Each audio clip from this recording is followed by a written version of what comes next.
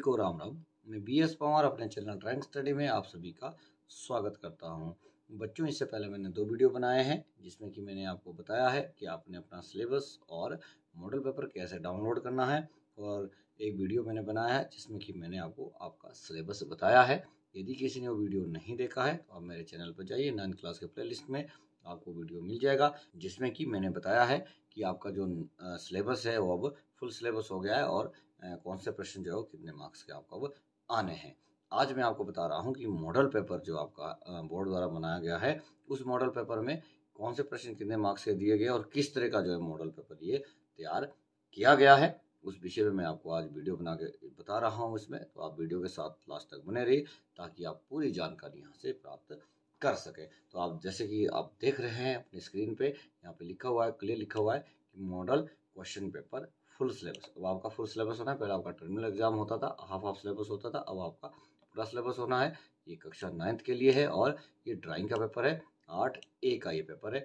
आपको दोनों लैंग्वेज में ये मिल जाएगा, हिंदी और इंग्लिश वर्जन में, दोनों वर्जन में आपको ये मिलेगा। इस तरह का पेपर आपको आएगा, यहाँ पे आपने अपना रोल नंबर लिखना है, जो भी आपका क्लास का रोल नंबर है, कुछ आपको निर्देश दिए गए हैं और यहाँ बताया गया है कि टाइम आपके लिए जो है वो तीन घंटे का है और मैक्सिमम मार्क्स जो है वो पचास मार्क्स का पेपर आपका रहना है।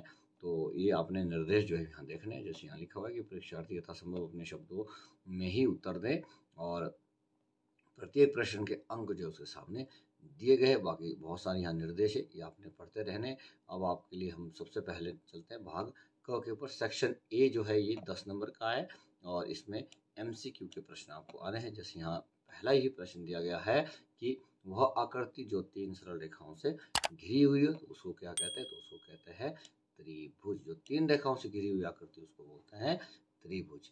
और इंग्लिश में भी दिया गया है। अगला प्रश्न है कि समकोण कितने अंश का होता है? तो जो समकोण होता है, वो नब्बे अंश का होता है, नब्बे डिग्री का होता है। अगला प्रश्न है कि दो रेखाओं को एक बिंदु पर मिलाने से क्या बनता है? तो जब हम दो रेखाओं को एक बिंदु पर मिलाते हैं तो कौन बनता है? तो ये आपका प्रश्न है। अगला प्रश्न है कि नीला रंग किस चीज़ का प्रतीक या द्योतक होता है? तो नीला रंग जो है वो शांति का प्रतीक होता है, शांति का द्योतक होता है। तो यहाँ पे आएगा शीतलता। वो जो है ऑप्शन ए आपका सही इसमें है।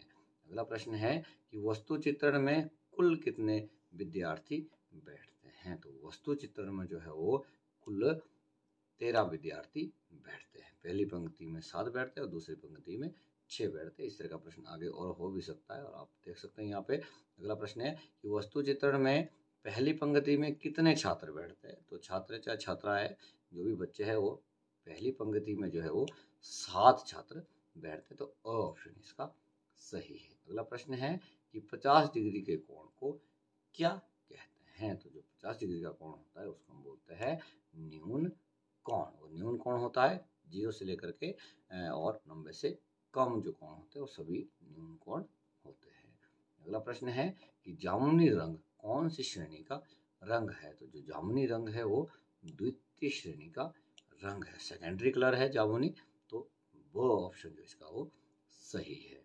अगला प्रश्न है कि बिंदु किसको दर्शाता है? इसकी परिभाषा में दिया गया है तो बिंदु जो है वो स्थान को दर्शाता है। तो स ऑप्शन इसका सही है, स्थान। और लास्ट प्रश्न हमारा है एमसीक्यू का कि इंद्रधनुष में कौन सा रंग सबसे अंत में आता है? तो इंद्रधनुष के जो रंगों को याद करने की ट्रिक है वो है बिब गियोर और बिब गियोर में र जो है वो लास्ट में आता है। र मीन्स रेड और लाल रंग जो है वो सबसे अंतिम जो है वो इसमें ये आपका पहला भाग था। अब भाग ख है। भाग ख में जो है वो जोमेट्रिकल ड्राइंग और आप सबसे पहले देखिए कि इसमें चार प्रश्न आपने करने कोई चार प्रश्न कीजिए और चार चार नंबर के प्रश्न होंगे और सोलह नंबर के जो है वो ये आपका भख रहने वाला है। तो आप यहाँ पे प्रश्न दे सकते हैं कि दी हुई रेखा ए बी पर साठ डिग्री 120 डिग्री और 180 डिग्री के कोण प्रकार द्वारा बनाओ तो ये आपने बनाना है और यदि आपको ये बनाना नहीं आता है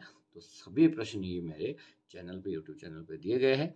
आप मेरे चैनल पे जा सकते हैं और वहाँ से इन सभी प्रश्नों को देख सकते हैं। मैं प्ले का लिंक भी डिस्क्रिप्शन में डाल रहा हूँ, आप वहाँ से भी सीधा प्ले में जा सकते हैं। ये रेखाओं कोणों में से प्रश्न था, अगला प्रश्न जो है वो त्रिभुज से है कि एक समद्विबाहु त्रिभुज बनाओ, जिसकी ऊंचाई h और आधार कोण m दिया है। और अगला प्रश्न है कि ए बी रेखा पर समद्विबाहु सम त्रिबाहु, त्रिभुज बनाओ। सम त्रिबाहु, त्रिभुज मीन्स आपकी जो न्यून कोण त्रिभुज होती है, वो भी सम त्रिबाहु त्रिभुज होती है, जिसकी सभी भुजाएँ बराबर होती है, वो त्रिभुज आपने बनानी है। तो आप ये प्रश्न अपने देख सकते हैं। अगर आपको नहीं आता है तो आप मेरे चैनल से भी देख सकते हैं। अगला प्रश्न जो है वो आयत का है कि एक आयत बनाओ, जिसकी दो भुजाएँ ए, बी दी हुई है। तो आयत की आमने सामने की भुजाएँ बराबर होती है। तो दो भुजाएँ दी हुई है तो उसके हिसाब से आयत आपकी आराम से बन जाएगी। चार प्रश्न थे। पांचवा जो और छठा जो प्रश्न है वो सॉलिड ज्योमेट्री से पिंड ज्योमेट्री से तो एक सम, बाहु, त्रिभुज, शुंडाकार का सामने और ऊपरी दृश्य बनाओ, जबकि शुंडाकार अपने आधार पर, क्षितिज धरातल पर खड़ा है और आधार भूमि के धरातल के समानांतर है। भुजा, दो सेंटीमीटर और ऊंचाई पाँच सेंटीमीटर। यदि आपको ये प्रश्न नहीं आता है तो आप अगला प्रश्न कर सकते हैं और यहाँ पे ऑप्शन दिया गया है कि यदि ये नहीं आता तो अगला आप कीजिए पंचभुज, घन क्षेत्र का सामने और ऊपरी दृश्य बनाओ। घन क्षेत्र अपने आधार पर क्षितिज धरातल पर खड़ा है। पंचभुज की एक भुजा एक्स वाई के समानांतर है। भुजा तीन सेंटीमीटर और ऊंचाई चार सेंटीमीटर है। तो इस तरह से ये पाँच प्रश्न दिए गए। पाँच में से आपने चार करने। आप ऊपर के चार भी कर सकते हैं। यदि आपको सोलर ज्योमेट्री में थोड़ी दिक्कत आती है और यदि आपको अच्छा लगता है कि हम सोलर ज्योमेट्री का प्रश्न बना सकते हैं तो आप इनमें से भी कोई एक प्रश्न कर सकते हैं। तो ये था आपका भाग ख। अब हम चलते हैं भाग ग भाग ग में आपके लिए स्केल ड्राइंग है और स्केल ड्राइंग जो आपकी वो चौबीस नंबर की होने वाली है। चौबीस नंबर की स्केल ड्राइंग में आपके लिए यहाँ पे जो स्केल दी हुई है, वो टूल की स्केल आपको आई हुई, इसका अपने सम्मुख और पार्श्व और ऊपरी दृश्य बनाना है। फुट्टा आपके लिए एक सेंटीमीटर बराबर पाँच सेंटीमीटर का पैमाना इसमें दिया गया है। अब अंक विभाजन पर विशेष ध्यान दीजिए। यहाँ पे अंक विभाजन जो दिया गया है, वो एलिवेशन जो आपकी है, वो पाँच नंबर की है। साइड भी आपकी पाँच नंबर की है और ऊपरी दृश्य प्लान जो आपका वो छः नंबर का है। उसके बाद पैमाना आपका दो नंबर का है। कागज़ बांट आपकी चार नंबर की है स्केल आई हुई है। यहाँ विशेष रूप से आपने ध्यान देना है कि चौबीस नंबर में से यदि आपको कागज़ बांट आती है तो आपकी चार नंबर की कागज़ बांट है। उसके बाद आपको इसमें पैमाना बनाना आ रहा है तो दो नंबर का पैमाना है, चार और दो छः हो गए। और लिखाई और सफ़ाई यदि आपकी सही है तो दो नंबर ये हो गए तो आठ नंबर आप जो है वो यहाँ से इस तरह से ले सकते हैं। ये आठ नंबर आप आसानी से ले सकते हैं। उसके बाद आपके पाँच और पाँच दस और छः सोलह नंबर ये है, ये तब आपको ये सोलह नंबर मिलेंगे यदि आपको ये आठ नंबर आपने यदि ढंग से प्राप्त कर लिए है तो उसके बाद आप एलिवेशन बनाइए, साइड बनाइए प्लान बनाइए, बट आठ नंबर आप आराम से ले सकते हैं और चौबीस नंबर में से पास मार्क भी आपको आठ ही चाहिए होते हैं। तो यदि आप, ऐसा नहीं है कि अगर आप, के आठ नहीं आ रहे तो आप फेल हो जाएँगे, ऐसा नहीं है।